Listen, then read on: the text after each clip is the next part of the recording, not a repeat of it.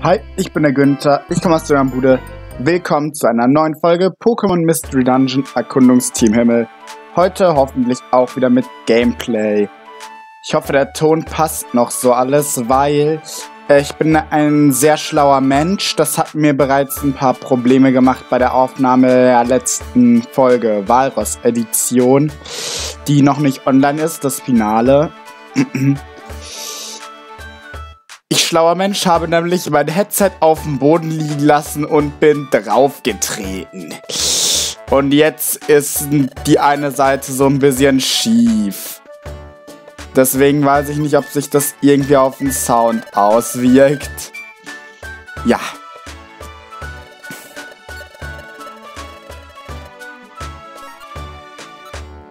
Ich weiß, ihr müsst mir nicht danken dafür, dass ich so toll bin. Das weiß ich selber. Übrigens leckt es. Also nur falls euch das noch nicht aufgefallen ist, ne? Kann ja sein. Ich weiß ja nicht, was ihr so macht, die da zugucken. Bei mir läuft heute wieder.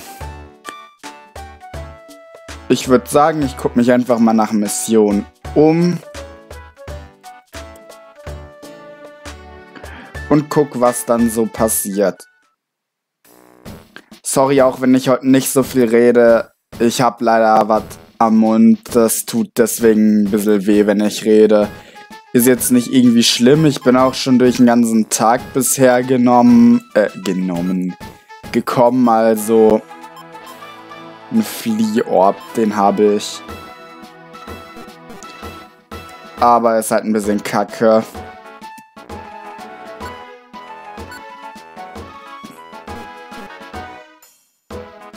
Die nehme ich gleich an, nachdem ich, oder? Den Fliorb habe ich gelagert, oder?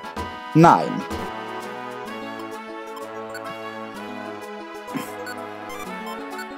Lass mich in mit deinen Schlafsamen. Die mache ich, wenn noch ein Missionstag kommt, die Folge.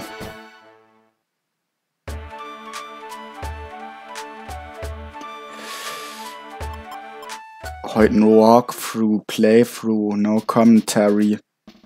Läuft bei mir. Aber ich bin gerade auch richtig froh, dass das gestern nicht schon war. Ich weiß nicht, wo das auf einmal herkommt. Aber wenn das gestern schon so gewesen wäre. Ich habe, wie gesagt, das Finale der Walross-Edition gedreht. Und mir fällt gerade auf, dass es eh sehr toll ist, eine Eskortmission mit einem Ganoven zu kombinieren. Meint ihr nicht auch? Was Schlaueres kann ich nicht machen. Ich habe halt einfach alles reingeballert, das hier ist. Nee, unmöglich, da einfach hinzugehen. Ha, dein Härtner bringt dich auch nicht weiter. Hier war der Ganove, ne? So. Dann, was hab ich? Ach, jetzt nicht wirklich viel so krasses. Hier ist mal... Heute sind die Lecks auch wieder irgendwie schlimmer als sonst. Mal komplett. Oh Gott.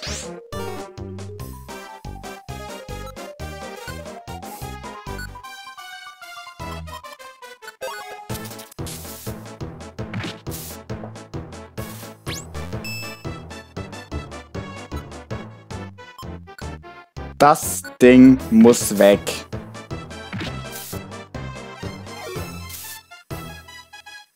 Wow, das hat sogar Sinn ergeben, Slimer. Sehr gut, das Ding war nicht gerade schwach.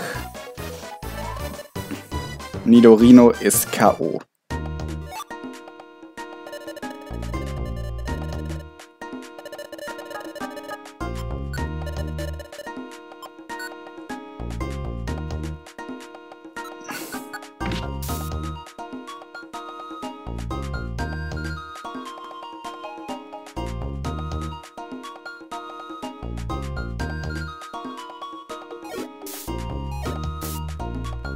Das Slimer ist anscheinend anders als sonst bei solchen Escort-Missionen sogar ordentlich gelevelt.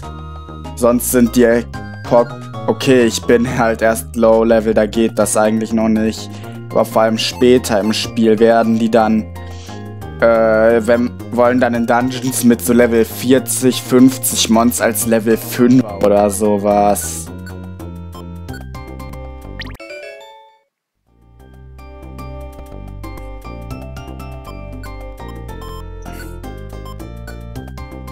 Boah, wieder tolle Folge heute.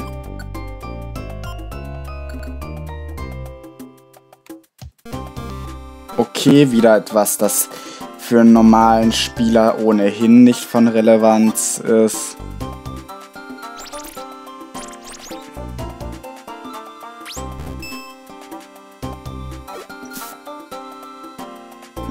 Wirklich One-Hit.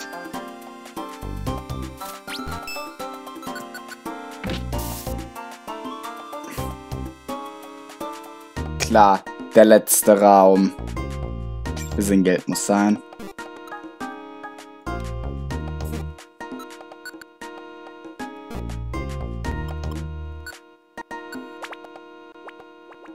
Alter, ist das schlimm. Ich habe schon überlegt, ob ich heute überhaupt was aufnehme. Hätte ich vielleicht machen sollen.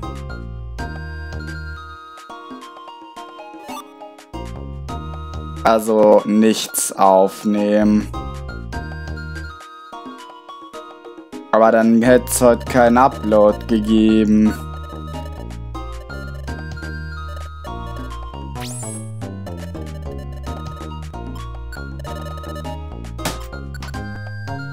So, jetzt muss ich noch auf Ebene 6 Slimer bringen.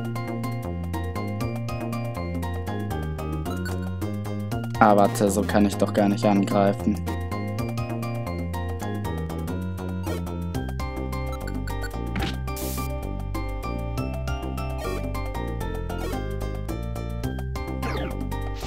Das war so klar. Mach's mal kaputt.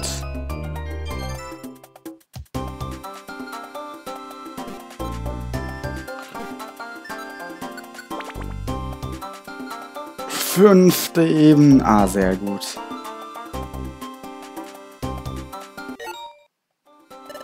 Ah, eine Fake, ein Fake-Item.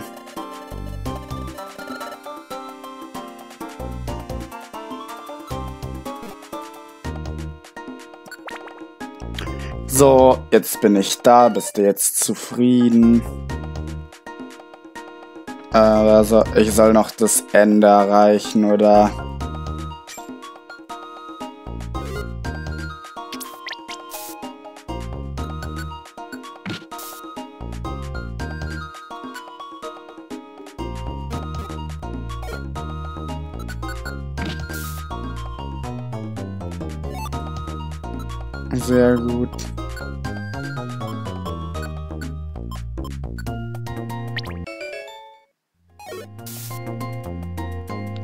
Hat sogar einen Wert gepusht und eine Fähigkeit gegönnt.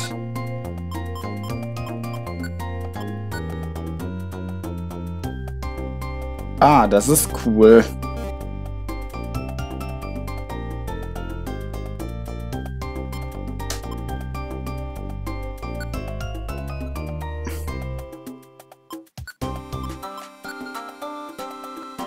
Ach so, zu einem Po. Ich hab mir gerade schon gedacht.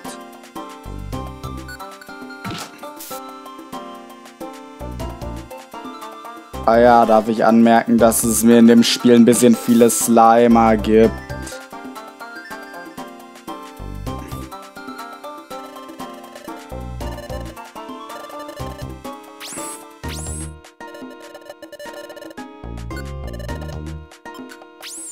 Tschüss.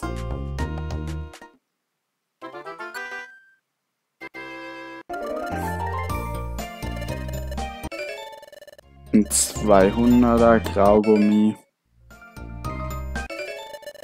20 Punkte. 1000, äh, 100, äh, ja doch 150 und 15 Punkte. Rotgummi. Grüngummi. Obwohl, nee, warte. Grüngummi ist nicht Flora-Gummi. Für wen ist grün?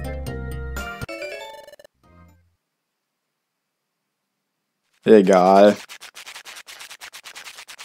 Käfer wahrscheinlich.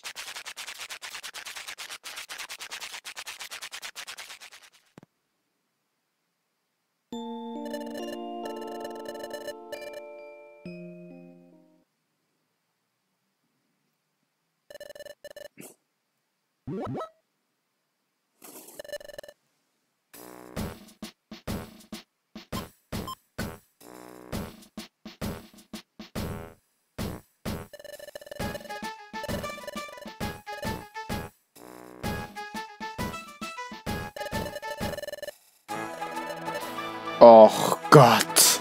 Bis gleich. So, bin soweit ging fucking schnell. Ich hatte alle instant richtig.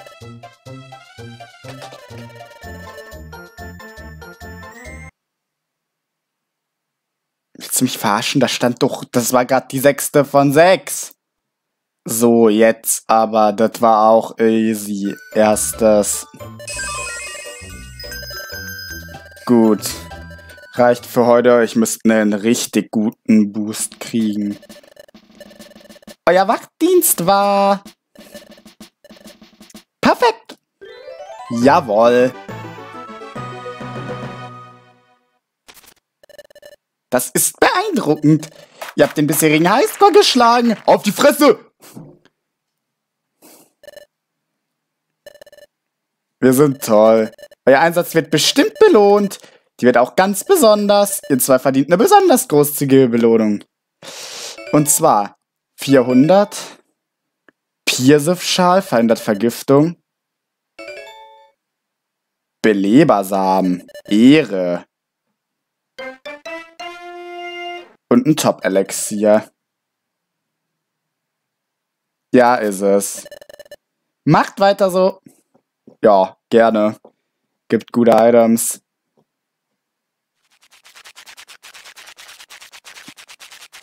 Mal im Ernst, diesmal waren aber auch so fucking einfache. Digga, das war eindeutig ein Vogelfuß. Auswahlmöglichkeiten. Glumanda, Sandan, Kramurks oder Snobillicat. Sowas zum Beispiel. So, geht's in der Story weiter? Anscheinend noch nicht. Na dann, Slimer, du wartest doch sicher noch in der Strandhöhle. Ich hab da was für dich.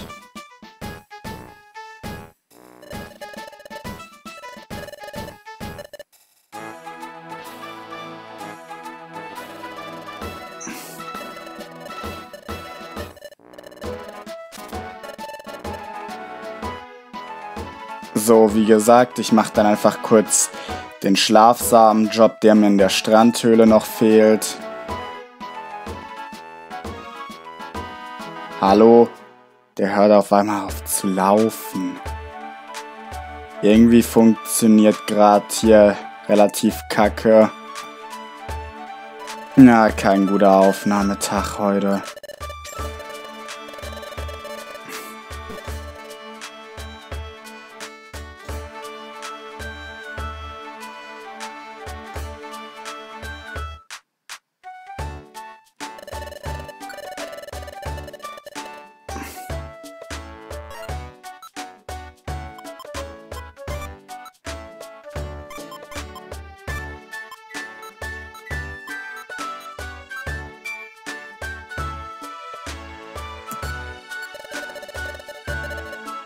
Ich habe den Schlafsamen nicht gelagert, falls das jetzt wer gehofft hat.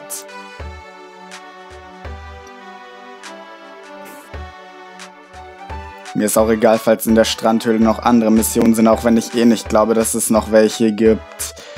Die werden jetzt mit der Zeit auch langsam schwieriger und nicht mehr in so im ersten Dungeon. Die Flaschenpost ist übrigens, glaube ich, hauptsächlich Street Pass bedingt, weshalb ich hier nichts mehr finden werde.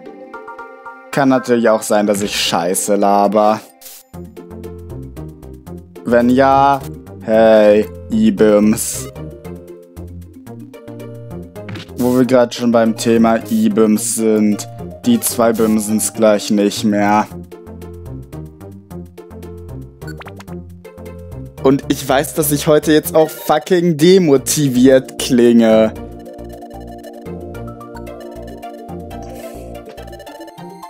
Ja, das war ja schwer. Ich weiß, dass ich fucking demotiviert klinge.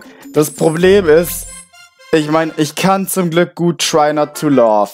Sache ist nämlich die. Wirklich wehtun tut's nur, wenn ich lache. Och nein.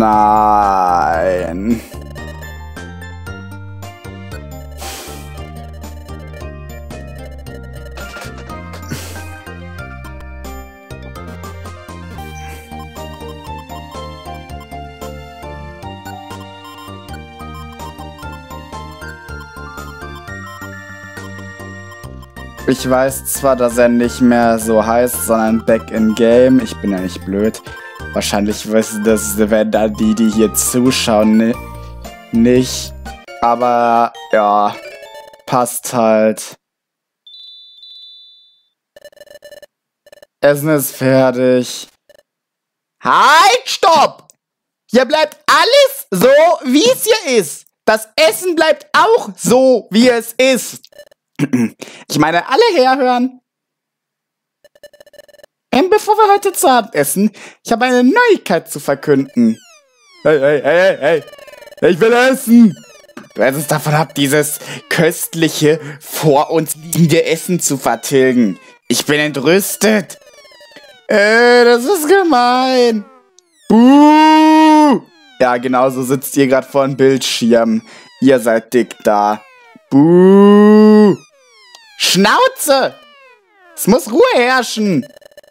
Ähm, ich bin mir sicher, dass die Auswahl der Expeditionsmitglieder euch alle beschäftigt hat. Unser Gildenmeister hat endlich seine endgültige Entscheidung getroffen. Boah, eh. Krass. Donnerwetter, endlich steht's fest. Die Mitglieder werden bei der Ansprache morgen früh bekannt gegeben. Ihr dürft euch darauf freuen. So, äh, tut mir leid, dass ich aufgehalten habe. Ohne weitere Umschweife. Fressen! Auf zu Vegas! Ja. Knuddeluff wieder mit seinem Apfel. Morgen werden endlich die Mitglieder der Expedition bekannt gegeben. Ich bin irgendwie nervös. Ja, ich weiß, Plaudergeil sagte, wir sollen uns keine Hoffnung machen. Schließlich haben wir Knuddeluff keinen der perfekten Äpfel gebracht, die er so liebt. Aber danach haben wir uns doch richtig angestrengt, oder? Ja, in der Feuchtklippe drei Missionen, Perfektdrang beim Wachdienst und diese sehr lange Mission mit dem Slimer. Wir haben unser Bestes gegeben, selbst wenn wir nicht ausgewählt werden. Ich bereue nichts. Ich bin müde, lass uns schlafen. Ich freue mich auf den aufregenden Tag morgen. Gute Nacht.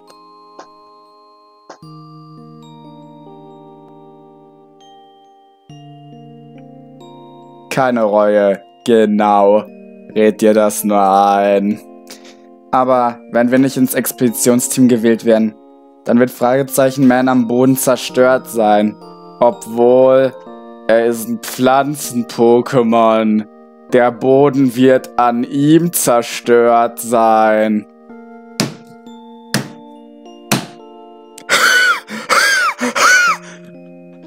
Dieses Geräusch kann ich zum Glück ohne große Probleme von mir geben. Das ist auch Lachen. Fragezeichenman gibt sich so viel Mühe. Ich hoffe, Fragezeichenman darf mit auf die Expedition. Ich aber nicht. Und das geht auch sicher, weil wir kein Team sind oder so. Wenn wir beide ausgewählt werden, dann könnte diese besondere Fähigkeit von mir von Nutzen sein. Da fällt mir auf, ich hatte in letzter Zeit gar keine Schwindelanfälle mehr. Aber ich hab doch genauso viel Alkohol getrunken wie sonst auch. Ich glaube, es hat doch nichts mit Alkohol zu tun. Aber es ist frustrierend, dass ich die Vision nicht steuern kann. Wenn ich über alles zu viel nachdenke, kann ich nicht einschlafen. Ich sollte besser schlafen. Gute Nacht, Fragezeichen Man. Ich hoffe, du wirst morgen ausgewählt, ich nicht, und du stirbst bei der Expedition und kommst nie wieder. Und ich kann endlich aus der Gilde austreten und in Freiheit leben.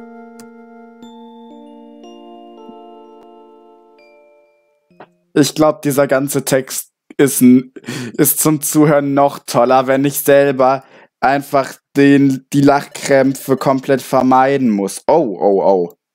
Da ist es. Ein weiteres Zahnrad der Zeit.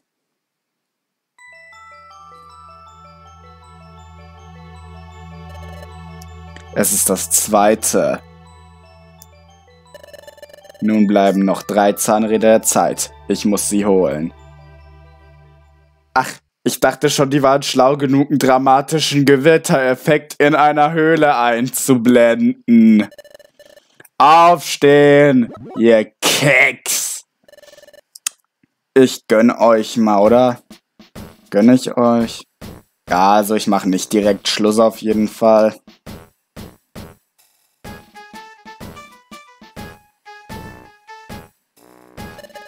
Ähm, nun dann. Ich werde nun die Expeditionsmitglieder bekannt geben. Gildenmeister, die Liste bitte. Plaudergeil nimmt die Liste mit den Namen der Expeditionsmitglieder von Knudlev entgegen. Die ausgewählten... Alter! Irgendwie sieht Plaudergeil Sprite, also nicht oben in die Box, sondern der auf der Map, nenne ich's mal. Der sieht gerade ein bisschen retarded aus. Die ausgewählten Mitglieder sind hier aufgelistet. Tretet vor, wenn euer Name aufgerufen wird. Und endlich ist es soweit. Mein Herz schlägt wie verrückt, Menschenskinners. Ich werde nun ohne weitere Umschweife bekannt geben, wer ausgewählt wurde. Nachdem ich euch noch achtmal versichern werde, dass es keine weiteren Umschweife geben wird. Ähm, unser erstes Mitglied ist Krakelo. Yeah. Aber wenn ich drüber nachdenke, war es klar. Yeah! Ja, ja, genau. Angeber. Soll das heißen, dass er nicht mal nervös war? Dann kommt Krebskorps. Hey, hey, hey, hey, hey, hey, hey, hey, hey, hey, hey, hey. Der nächste, äh, bitte was? Überraschung. Pizza. Echt? Echt? Menschenskinders, ich, ich geh mit. Hä? Ist irgendwas, Pizza? Komm schon, tritt vor. Äh, ich will ja vortreten, wirklich, aber ich bin gerade ganz überwältigt. Meine Beine wollten sich nicht bewegen. Meine Beine, ich spüre meine Beine nicht mehr. Meinetwegen, ignorieren wir es und fahren fort. Als nächstes haben wir Sonnenflora und Palim Palim. Yeah.